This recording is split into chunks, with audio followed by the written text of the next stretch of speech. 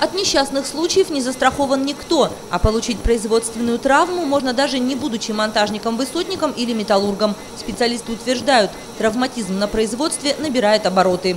Если соизмерить с прошлогодним, в этом году 25, на 25% выше количество пострадавших. Это те, которые мы говорим, связаны с производством, понимаете?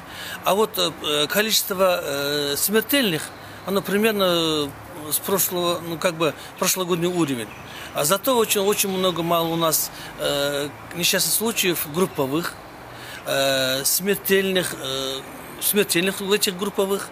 Трудовое законодательство обязывает страховать работника от несчастных случаев. Но, как утверждают специалисты, выполняется это не всегда, а работники об этом порой даже не подозревают. Большинство как бы, вот этих пострадавших, они не знают свои права. То есть, например, мы сейчас судимся в Арисе, да? Я знаю как минимум двух человек, которые на этом же предприятии получили увечья. Получили увечья, и работодатель взял их просто их э, выгнал.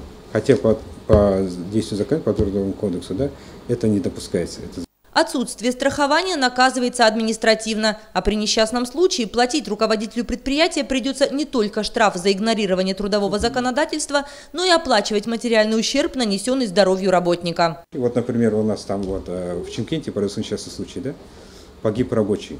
Страховая выплата составила около 15 миллионов. Хорошо, что работодатель в свое время застраховался, и теперь эти 15 миллионов э, выплатит страховая компания. А вот если бы он не застраховался, а по закону несет ответственность работодатель.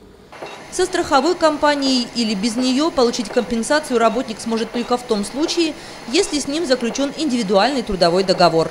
Работнику прежде всего э, нужно предъявить работодателю, чтобы у него было трудовое отношение, чтобы работодатель с ним составил трудовой, трудовой договор.